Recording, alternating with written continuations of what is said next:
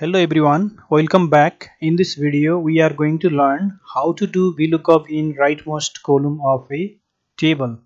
As you see here in the example, I have the information of employee name here. And in the second table, the employee name and joining date is displayed based on the ID.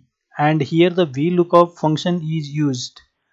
And if you see in the source data, the employee ID is in the right column but if you see in the VLOOKUP function description, the VLOOKUP function looks for a value in the leftmost column of a table. This is a necessary condition for VLOOKUP where the lookup value must be in leftmost column. And here in case of the lookup value is in the right column or not in the leftmost column, then we can combine the choose function with VLOOKUP to do this. As you see here, the choose function is combined with VLOOKUP so now let me delete these two already used function from here. Then start using the VLOOKUP here in this cell. So press is equal to then type VLOOKUP. Bracket open. In the lookup value click on the employee ID here in this cell. Then lock this cell by pressing F4 key in the keyboard. Then give a comma. Now here in the table array we have to use the choose function by using this choose function, we will put the employee ID at the beginning, then other column after that. So for that, here type choose, then type the opening bracket, then type here a curly bracket, then type 1, comma 2, comma 3, comma 4, comma 5, comma 6, comma 7.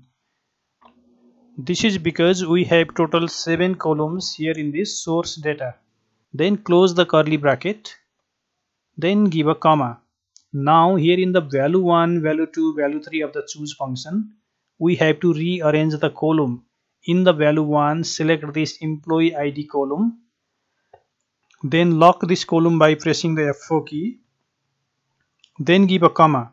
Then here in the value 2 parameter select the employee name column lock this by pressing F4 key give a comma. In the value 3 select this permanent address column.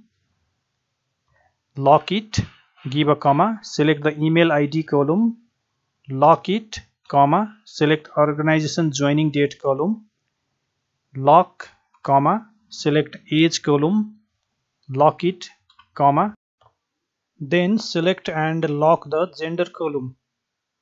Then close a bracket here for choose function now this choose function will restructure this table by putting this employee ID at the beginning, then the remaining column after that. Now give a comma.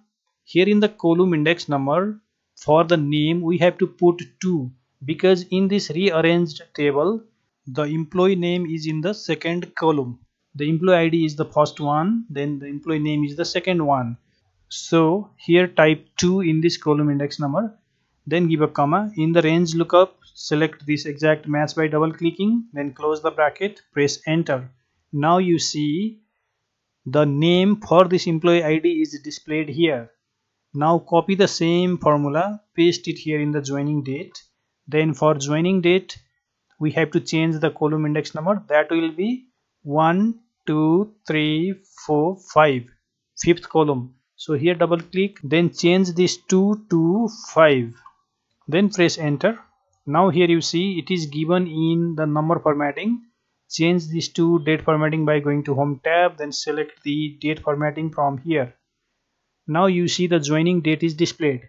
Now if you change here the id for example e311 then you see the values gets auto changed for the employee id 311 the name is emma and the joining date is 13th of july 2009 which is captured from here so this is how we can use VLOOKUP function when the lookup value is in the right column of a table.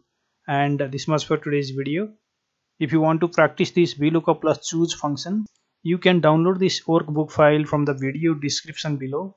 Thank you very much for watching. We will again meet on next video tutorial.